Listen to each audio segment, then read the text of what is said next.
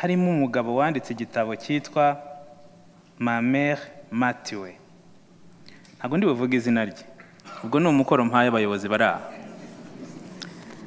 Hanyuma mu wundi mudiregiteri mfite akaba yaranditse igitabo cyitwa moi le dernier tutsi. Undi mudiregiteri wundi wa gatatu akaba yaranditse icyitwa mitingi genosideri imbundo imbarutso y'imbunda yarimbuye imbaga. Abadiregiteri ukaba ubayoboye hanyuma mwagera nko mu gihe cyo mu kwezi kwa kane umwe akajya akererwa. Ndetse undi agatanga raporo akererewe.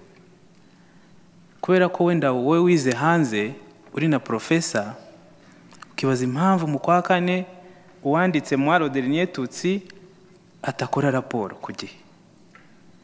Ndetse ugafata na gahunda yo kumwandikira no kumubaza ibisobanuro no kumwirukana. Nagira ngo abayobozi babitekereze.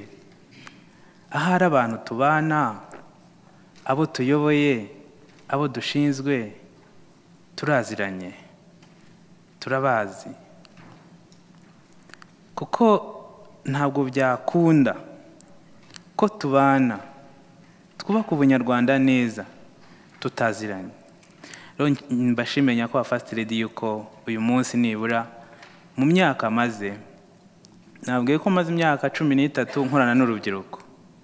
Ariko ni bwo bwa mbere abantu tuziranye babashije kumbaza ngo urinde.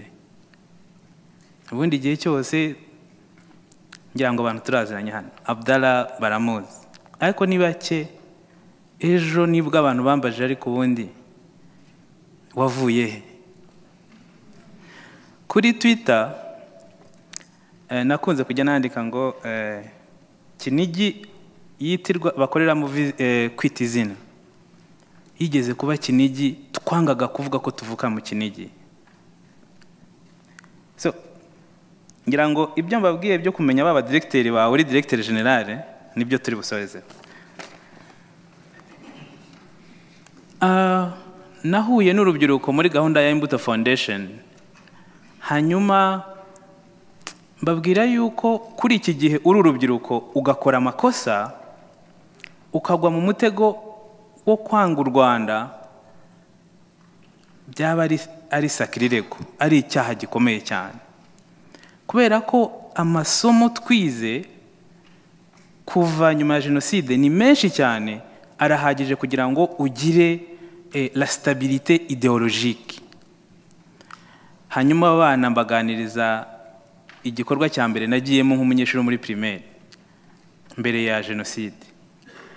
Jyewe twiga muri primaire baraduhamagaye ngo tujye kuzenguruka urumva twavuye iwacu aho twari dutuye mu kinigi ni ukunyura kuri sunrise abantu bazi iryo shuri ujya muri burera iwacu ni ukunyuraho. Baraduhamagara tuva ku mashuri tujya kwamagana minisitiri w'uburezi. Kwigaragambya twamagana uwitwaga uwiringiyimana agata tuzenguruka umujyi wose turirimba ngo ibyo agata dushinja ntibyabayeho ntabwo nari nzi agata yewe no kumenya ko ari minisitiri w'uburezi ngira ngo honorable wenda araza kudufasha nyuma tuganira. Honorable perezida wa sena yari ari muri icyo kiganiro.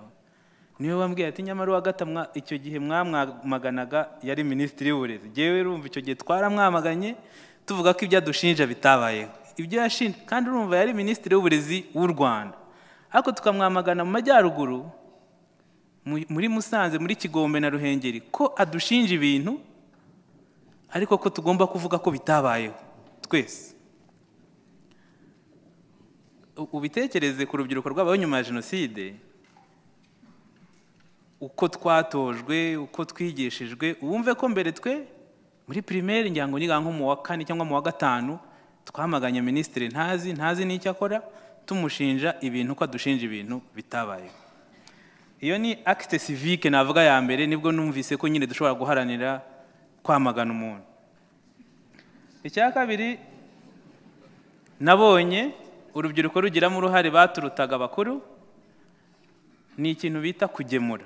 Afande arimo kuvuga ko inkotanyi zitateye. Ariko zarateye da. Kuko twebwe aho twari ku ishuri twumva amasasu ya mbere urumva mu kinigi ni hafi y'ishyamba. Inkotanyi zari zateye siriyasi ntabwo byari byoroshye. Ubwo rero urugamba nyango ntabwo najya kubabeshya ngo mbabwire ngo amatariki y'imyaka ntabyo byo namenya ngo byari byagenze bite? Ariko habayeho kujya abasirikare bajya mu kinigi kujya mu ishyamba hanyuma twe abantu bakagemura. Urubyiruko rufite imyaka cumi n'itanu makumyabiri ndetse abantu bava no mu mashuri abandi bakajya bajya kugemura. Ariko wakurikirana ukabaza sha ko mwagemuye byagenze bite? Ebana hariya hari umuceri. Umuceri uwitaga uwera kurya ukurya ati hari iyo wagemuye urya koronobefu ukarya n'uwera kandi ukanywa na pirimusi ndetse abahungu bamwe bagiye no mu gisirikare nko mirongo icyenda na gatatu icyenda na kane wumvaga ikibajyanye harimo n'uwera.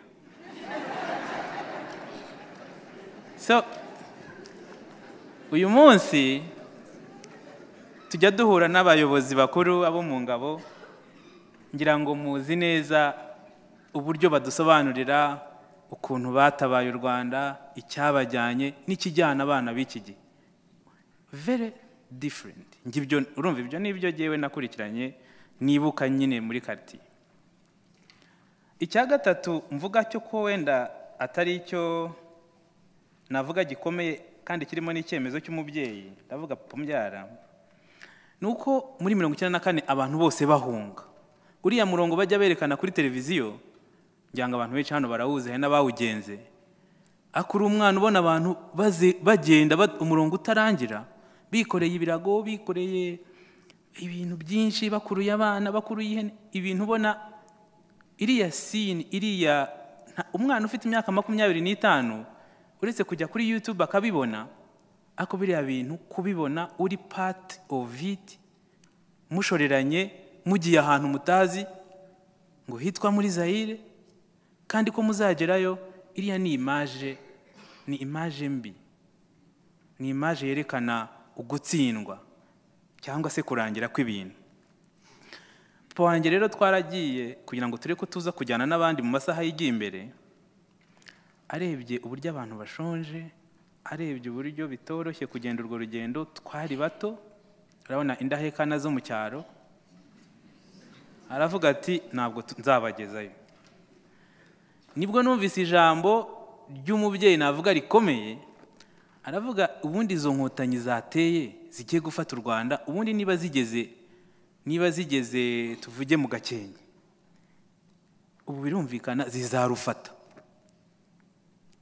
Niba zizarufata se ubundi ubwo twebwe nitugendanye namwe n'aba bana turi bugereyo muri zayire ubwo rero tutagerayo nkaba nta kosa nzi nakoreye inkotanyi. Mwe muze dusubire mu rugo.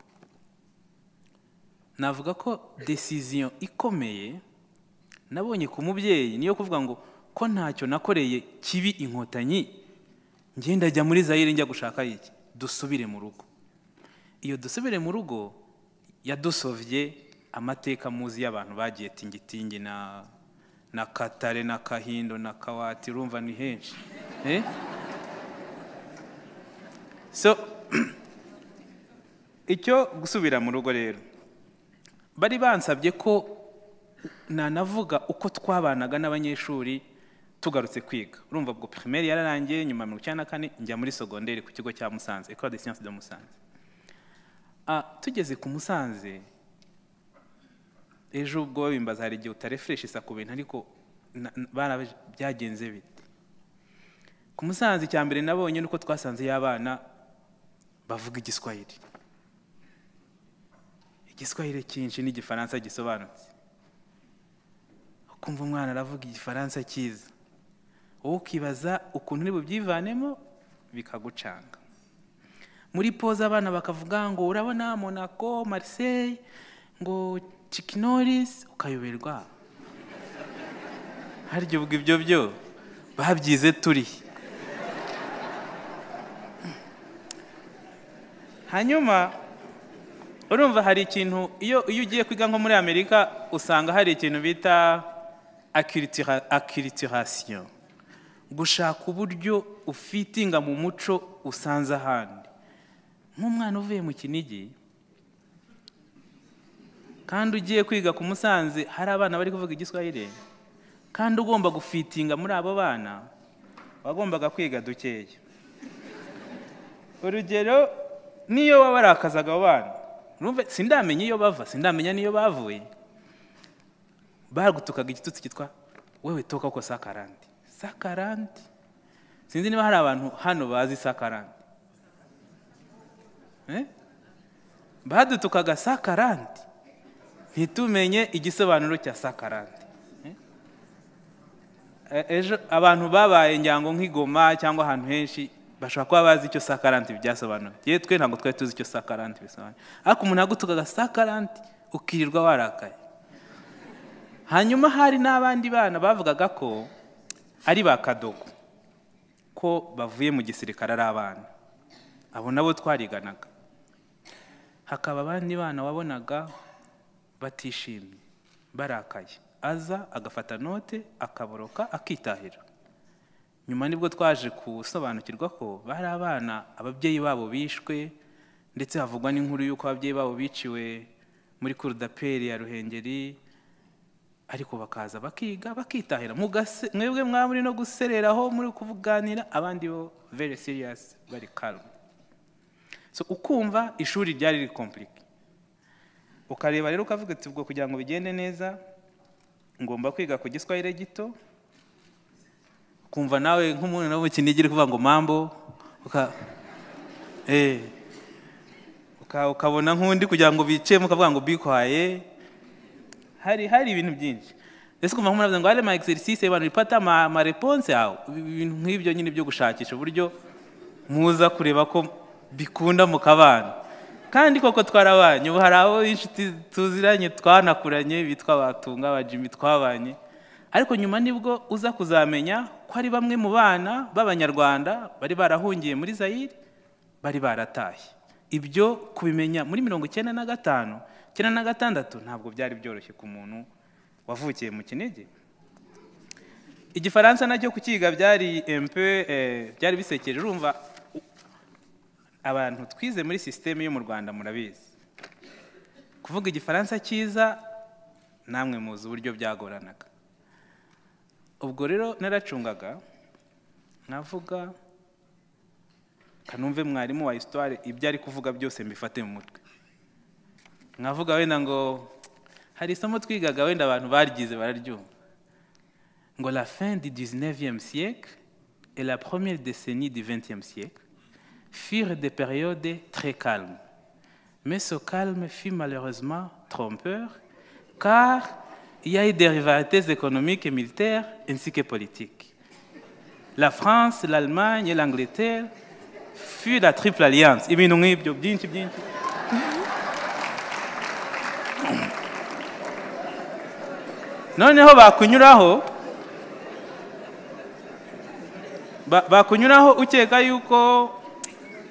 Bari kuvuga igifaransa cyabo cyiza cyo kuganira nawe ukivugira la triple alliance tu vois. Ukareba. So wenda ntaza kumara iminota ariko igihe cyadukomereye nkeka ko ari igihe kibi abantu tuziranye bake cyane nibo bazi wenda sikire superiyeri yacu. Sikire superiyeri aho twize twize mati fizike turi abana icyenda. Muri icyo gihe muzi ko abari abayobozi bo mu burezi bazi ko ni bwo za mati fizike na za biyoshimi zatangiye abantu bangaga kwiga ayo masekisiyo badushyizemo ku ngufu turi abana icyenda. Mu bana icyenda umwana umwe ni we wari ufite se ni we wari ufite se tukajya navuga ko tugomba no kuzamusaba imbabazi twamubazaga impamvu we afite se none se iso wowe we ko ahari ibiti ariko urumva twabaga nk'abamutera siteresi ariko na nyuma yaho nawe se gacaca ibaye ise nawe yarafashwe? Arafungwa. Ndetse ahubwo tuza no kumenya ko na mama we burya nawe batabanaga ahubwo yari ni we wakoze jenoside nyinshi ukurikije uko twabyumvaga. Uko ashobora kuba uwari mubi kurusha undi mama we yari mubi kurusha papa wabo. Nawe ubwo dusigara atunganya twese. Ah, buri wese yari afite uburyo umwe se yishwe muri jenoside undi se yarafunzwe undi se yagiye hanze undi ntashaka no kuvuga aho baba. Urumva ibyo? Kandi muri bake bimwe nababwiraga mugomba kumenyana ngo mubane. Njyewe rero ibyabaye numva bi- bikomeye. Ni uko mu myaka mirongo icyenda na karindwi icyenda n'umunani hateye intambara y'abacengezi murabizi? Turiga ibiruhuko bigeze nagombaga gutaha kandi nkajyana birete mu rugo. Ko nari nabaye wa mbere muri physique ngomba numva ngomba gushaka inzira zose nkagera mu rugo. Kugera mu rugo unyuze kuri sunrise byari ntibyashobokaga. Hari abacengezi benshi. Byasabye ko mfata umuhanda n'amaguru ngenda njya nk'umuntu ugiye mu karere ka burera ujya ahantu bita muri nkumba ugakata ugakontorona kugira ngo ubashe kugera iwanyu. Ndabikora ngera iwacu. Eh, papa arambwira ati rero inaha byarakomeye. Ufite hari amahitamo abiri. Ubien urakorana n'abacengezi cyangwa nturakorana nabo. Urakorana n'abacengezi sawa. Nudakorana nabo amahirwe menshi ni ugupfa. Urumva ibyo aravuga ati runaka baramwishe na runaka baramwishe na runaka baramwishe. Benshi cyane. Ejo bundi abankurikira kuri twitter barabizi ko babacengezi batera muri musanze nababwiye ko jye nabuze icyo nabivugaho. Kubera ko si- bigarura ibintu byinshi byabaye muri icyo gihe. Ah, même nuit najyanye birete nagiye kwereka umubyeyi ko natsinze. Niryo joro abacengezi baje kwica wanjye bukeye ntabwo mvuga nyine iryo joro ntabwo riri eh, ijoro ryo kuvuga. Bukeye ntabwo mbyibuka neza uko byagenze. To- confusion totale. Batwaye ibintu byose byo mu rugo nkeka ko bibagiwe agakapu naje mfite. So bukeye agakapu ndakabona aho nagasize ndongera ndagaterura nsubira ku ishuri. Ntumbaze ngo nzi uko byagendekeye mu nzu mama abana ntabwo nabikurikiye. Nahise nsubira ku musanze. Icyo nababwiye abo twaganiriye cyambabaje gikomeye na n'ubu uretse ko wenda njyewe naramubabariye uwayoboraga ishuri. Ariko tuhageze twari abana benshi. Abavuye nyarutovu abavuye eh, abavuye nyarutovu abavuye gatonde cyeru ahantu hatandukanye abana bose twasanze tugarutse ku ishuri kuko mu rugo ntibyashobokaga kubayo. Tugeze ku ishuri uwayoboraga ikigo yanga ko tujya mu kigo. Aratubwira ngo mwageze aho abacengezi bari? Tuti yego. Turabwirwa n'iki ko mwe mutari abacengezi? Turavuga se none twe ntitwiga hano. Oya none kuki batabishe? Ngo ingabo ziri hano zizi ukuntu byari bimeze. Iyo wavaga mu gihugu niba ariko nahita ukajya aho abacengezi bari bakubazaga impamvu inkotanyi zitakwishe ubwo mufitanye diru iyo wabaga uvuye mu gice cy'abacengezi ukagaruka nabo bakubazaga ubu mufitanye izihe gahunda? Bigasaba diregiteri yanga kompletema ko tujya mu kigo aradutinya pe. Hari abantu bazi ku kigo cya musanze hari ahantu haba sitarabage sitarabage yakoze umuhanda hari aho yashyiraga depo. Hari inzu ihari twari tuzi nk'abanyeshuri ko iyo nzu ibamo amajini. Nta muntu wayijyagamo. Tubonye bituyobeye turahakupa turayikoropa tuyijyamo. Yitwa mezo jone njya nicara nkavuga ngo abantu twabanye muri mezo jone twakabaye dushyiraho nka watsapu gurupe tukajya tuganira. Kuko twagiye muri mezo jone turi benshi icyo aho uvugira ko uhurira n'urukundo cyangwa uhurira n'u rwanda ni uko twahise twitoramo abayobozi nka batatu. Tujya gushaka perefe tujya kwa rucagu. Rucagu ah, ahuza izindi nzego ngira ngo hari n'umuburugumesitiri sinjya mbi confusing niba ari mugabo john cyangwa undi muntu wari uhari bahita bafata icyemezo cyo kuduha ibiryo ibigori amashaza ndetse badushakira n'indi nzu kuko twari benshi cyane abandi bajya mu yindi nzu. Aho hantu haramarika kuko nibura diregiteri yari yanze ariko tugeze ku buyobozi buratwakira buduha n'ibiryo. Aho nababwiye ngo nitwaga jean nepo umwana twiganaga witwa asumani yaje kuzamenya ko hari abanyeshuri bagarutse aza kureba ko nanjye nagarutse. Niwe wamvanye muri mezo jone anjyana iwabo. Anjyana iwabo ubwo nabaye muri mezo jone nk'ukwezi njya kwa basimani mu mujyi wa musanze mbayo mu gitondo batora zana ngo bajye gusari ngasigara ndyamye ngeze aho nigira inama ndavuga uru rugo bajya gusari ngasigara ndyamye. Bazanyirukana. Hano hari abasilamu tuziranye na mufti namubonye. Ngasigara ndyamye. Hanyuma nza kuzabwira somana ariko wazabwiye mu rugo bakangira umusilamu. Cyakora muzabe muretse kunsiramura ariko ariko wenda tujye tujyana nimba itinyuka muzabikora ariko ndumva ntazajya nsigara ndyamye. Asumani abanza kwanga arambwira ati tuzabisobanukiwe ntoya ndumva mbishaka. Ufite nawe umuyisilamu kubera gushaka icumbi.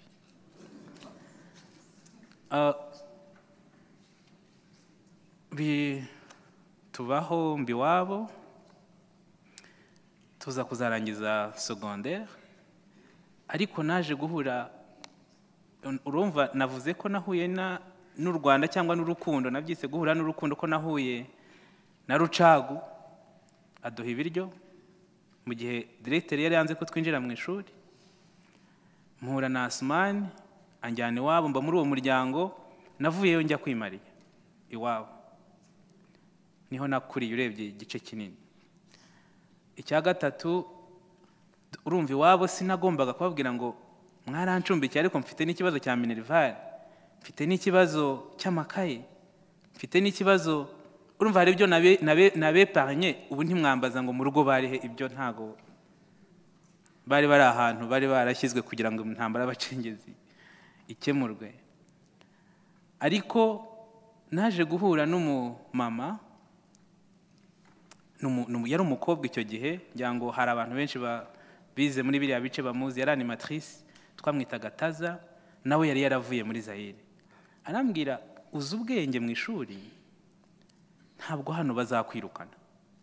Taza amfasha diregiteri ntibanyirukana ampa amakaye yose nigiyemo imyaka itatu ndetse nibuka ko yananguriye ishati nambaye ngiye gufata diporome amahirwe make nagize ni uko taza yaje kuzarwara diyabete hari abantu bajya bumva nkunda kuvura diyabete ni uko yantwariye umuntu wamfashije ubuzima bwanjye bwose taza aza kuzarwara diyabete arapfa apfa ariko narangije medicine urumva wenda hari uko namushimiye twaganiriye ariko taza yaramfashije. Kandi taza ari muri ba bantu twavugaga bavuye muri zayire urumva na byo ntongera kubona ariko ko bene wacu banyiciye umubyeyi asumani ba baswahili bakandera rucagu w'umuyobozi akaduha ibiryo taza wavuye muri zayire akampa ibikoresho byose. Nta bisobanuro mbifitiye ariko namwe murumva ko ukoze nka vegiteri ukabihuza bibyara ikintu kinini cyane. Natangira gusobanukirwa icyo byari bisobanuye byose. Intambara y'abacengezi icyo ari cyo. Jenoside u rwanda amateka tugiye mu ngando. Ku buryo numva ingando twakoraga kiriya gihe ziri mu bintu byatumye urubyiruko rwinshi dufite yaba abo tungana n'abakuru hari ukuntu basobanukiwe. Numva icyo gihe tugeze mu ngando ho nasanzemo n'abavuga icyongereza. So la diversite iba trop large noneho. So aba bavuga icyongereza se bavuye. Hari icyongereza hari igiswahili hari aba urumva ya diversite yo mu rubyiruko ibaye nyinshi cyane. Amahirwe ni uko nabasanze muri eh, mu- ngando hanyuma tugasobanurirwa tukiga tugatangira eh, kumenya neza u rwanda no kumenya amateka c'est quoi. Tugeze i butare muri kaminuza eh, nagerageje kujya hari icyicaro cy'abayisilamu cyabaga buri wa gatandatu. Ni icyicaro cyadufashije cyane kuko nahigiye ibyo nagiyemo nk'impanuka nahigiye ubuyisilamu ni ho nigiye navuga ko nahigiye ubuyisilamu ndabumenya hanyuma twajyaga tuganira byinshi harimo u rwanda hakazamo gufatanya kwibuka hakazamo ibikorwa bitandukanye bakoraga byatumye ngenda nsobanukirwa byinshi cyane. Ngeze mu mwaka wa kane wa mitsini 2006 ni bwo banantoye kuba umuyobozi w'abayisilamu biga muri kaminuza ariho nabwiye ngo maze imyaka cumi n'itatu ni ho natangiriye kuyobora inzego z'urubyiruko ko abana twarabayoboye ndetse na medecine inyohereza muri Denmark muri uwo mwaka mu gihe cy'amezi abiri twari dufite presentation imwe. Yaravugaga ngo la situation de la santé mentale au Rwanda après le génocide twagombaga kugitanga muri université ya Copenhagen, Aarhus, Aalborg, Helsingor hari ama université menshi muri Denmark uko twakoraga research dushakisha n'umwana witwa Nibiza Aline twajyanye nkeka ko ariho byinshi ku Rwanda no kubisobanura no kubimenya ni ho byatangiriye. Mwakoze.